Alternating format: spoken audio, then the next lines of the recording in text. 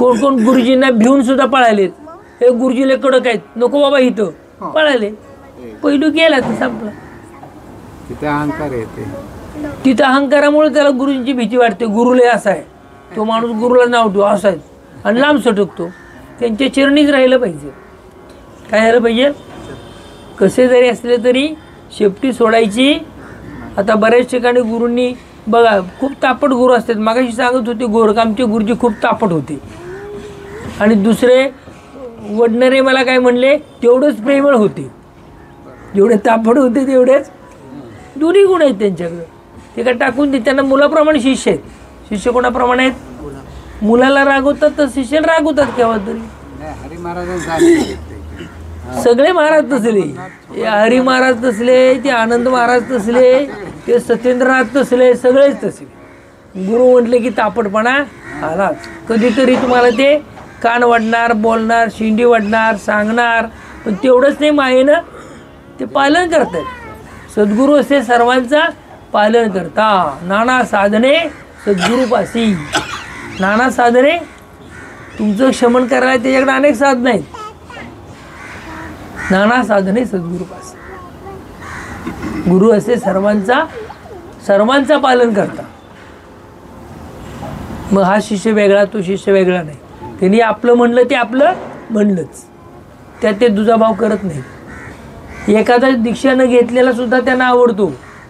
त्याच्यावर प्रेम करतात त्यालाही आपलं करतात ते. दीक्षा घेतलेले तर आहेतच मुलाप्रमाणे. पण दीक्षा न घेतलेला बाहेरचा जरी असला तरी मगाशी ते सांगत होते की एक फकीर येत होता आनंदबुवांच्याकडं. तो फकीर काही दीक्षा घेतलेला नव्हता. फकीर होता. पण त्याला चहा जेवण देत होते आला तरी हे घे चहा घे खा. त्याचंही दुःख निवारण केलं त्याच्या हाताला काही त्रास होता. मोठा की बरा होत नव्हता. तो सुद्धा त्यांनी काय केला? निवारण केला. ते काही दीक्षा घेतली नव्हती.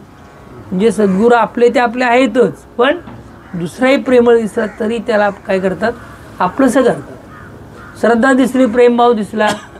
ठीक आहे बाबा. नाही दीक्षा घेतली हरकत नाही. पण त्यालाही आपलं करतं असं काय?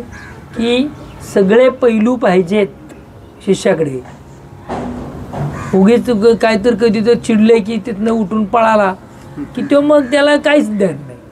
सद्गुरूपासून दूर झाला आपल्या मनानं. त्यांनी बाहेर ढकलला तरी आत आलं पाहिजे. त्यांनी बाहेर ढकललं तरी नका करू पाया वेगळा. नका करू पाया वेगळा करू नका. घ्या तुमच्याच पायी घ्या.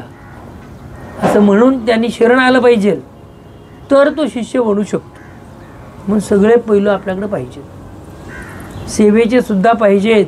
सेवा केली पाहिजे सेवेमध्ये आपलं पाप धुवून जातं. सेवेमध्ये काय होतं? आपली पातकं धुवून जातात. मंदिराची सेवा करा. ती सद्गुरूची सेवा आहे. मंदिराची सेवा करणं ही कोणाची सेवा आहे? सद्गुरू सेवा आहे. तुमचं पातक धुवून जाईल. म्हणून गाभाऱ्याची पूजा कोण करणार म्हणलं की तोंड वाकडं?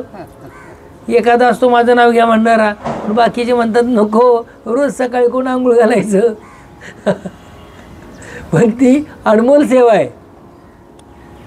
ती कुणाला पण द्यायची नाही म्हणून मला सांगितलंय. आयऱ्या करायला द्यायची नाही. ठराविक जणांना दिली पाहिजे. पण केली पाहिजे. त्या सेवेनं आपलं पातक धुवून जातं. आणि सेवेला पुढं पुढं पाहिजे. तो एक पैलू आहे. आता वडनेरे स्वतःहून म्हणलेत मला सेवा करायची इच्छा आहे. एवढं भाग्य आहे त्यांचं. त्यांना बुद्धी दिली परमेश्वराने त्यांची बुद्धी नाही ती. सद्गुरू दिले कधी द्या. म्हणजे त्यागी वृत्ती आहे. म्हणजे सद्गुरू कृपा तिथं आहेच. गेली नाही आम्ही आता इतक्या लांबचे आम्ही म्हणतोय का इथं राहतो म्हणून सेवेला. आम्ही म्हणणार घरी जायचं आहे इथे आम- घर आहे शेती आहे आमची. शेती कोण बघणार? जनावर आहे ती दूध कोण काढणार? दारा कोण घालणार?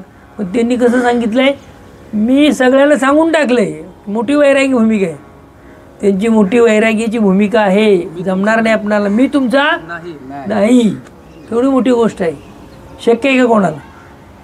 ही कोणाला शक्य नाही. ह्याला म्हणायची सद्गुरु कृपा. सद्गुरु कृपेने बोलता येते प्रेम आहे त्यांचं. ह्याला काय म्हणायचं? प्रेम. माया नाही म्हणायची ह्याला प्रेम. तर असं प्रेम निर्माण झालं पाहिजे आपल्यामध्ये. तर सेवेनं आपली पातकं धुवून जातील. पुढल्या जन्मात ती शिल्लक नाहीत. स्वच्छ झाला. सेवेचं महत्त्व अपरंपार आहे. सेवा करीन तुझी मनोभावे.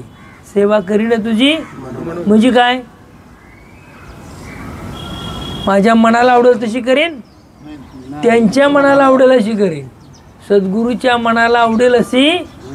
सेवा करेन तेव्हा म्हणे सेवा करीन तुझी मनोभावे तुझी सेवा करीन मन मनोभावे तुम्हाला आवडेल अशी करीन. सेवेचं महत्त्व जास्त आहे तुम्हाला माहीत नाही कुठं कुठं असं जेवण वाढतात ती मोठी मोठी श्रीमंत लोक ताटं उचलतात दुसऱ्यांची. जेवायला वाढतात खाली पुसून काढतात. स्वतः सेवा करतात. खूप श्रीमंत लोक कोट्याधीश आहे पण तिथे सेवा करतो. का तर त्याला कळालेलं असतं.